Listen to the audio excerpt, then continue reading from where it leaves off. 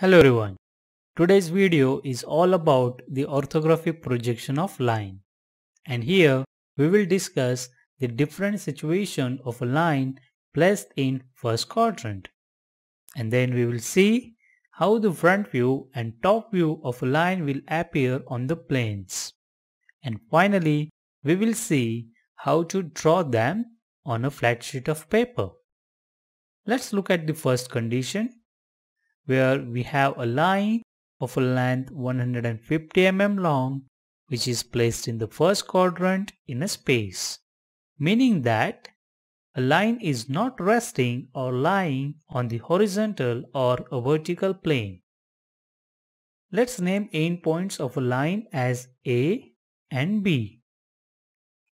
If you look at the position of the points A and B from HP and VP, you will realize that both the points A and B are equidistant from HP and VP. Let's say point A and B are 88 mm above the HP and 128 mm in front of the VP. Now, to observe the front view, imagine that you are standing in front of a line and looking in this direction. Remember, how do we project the views on the plane?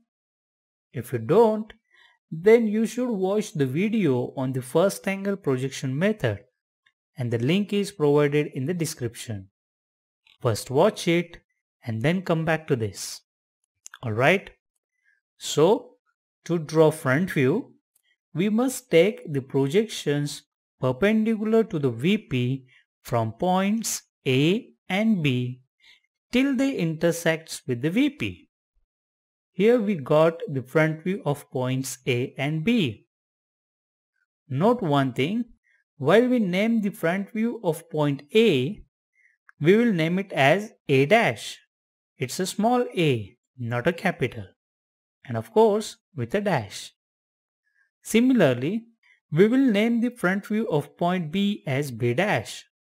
And once we connect A dash and B dash, we have front view of line AB on the VP. Perfect.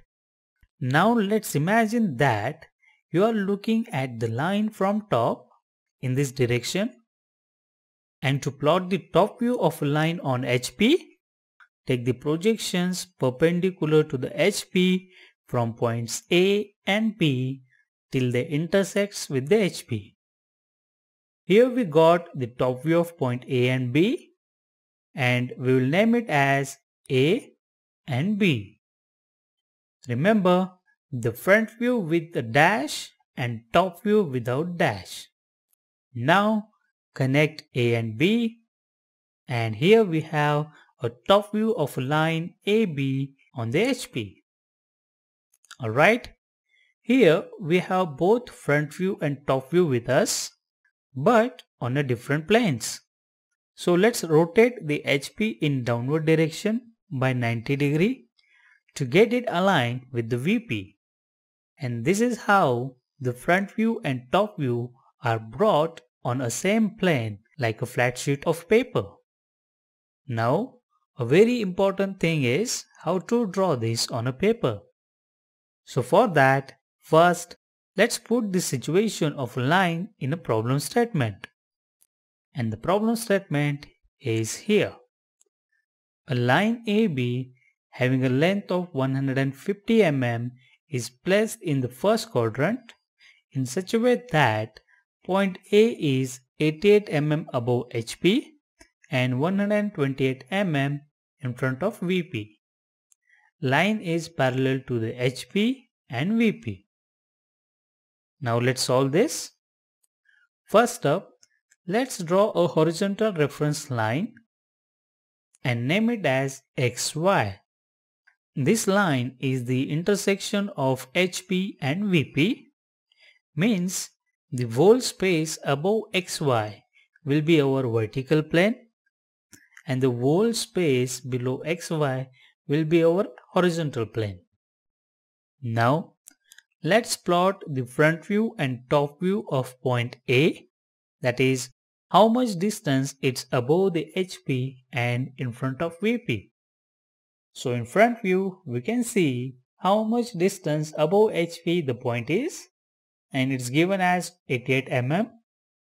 So draw a faint perpendicular line of length 88 mm that is above XY and mark the position of front view of point A as A dash.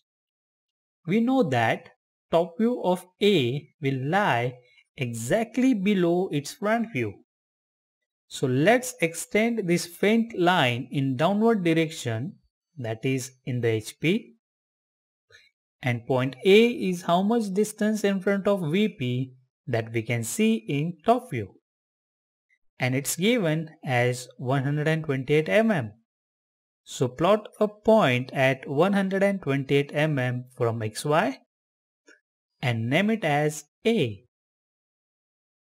Now it's time to locate the second end B and given data says that line is parallel to both the planes. Means point A and B are equidistant from both the planes.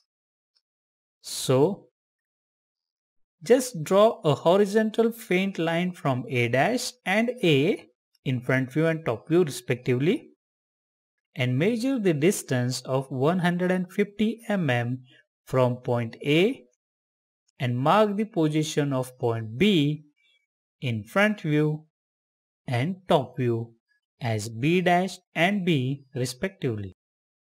And here we have front view and top view of line AB. In the next few videos, we will be discussing the many more problems on the projection of lines. If you like this video, then give a thumbs up by hitting a like button. And for watching upcoming videos, subscribe to this channel and enjoy the learning with me. See you soon.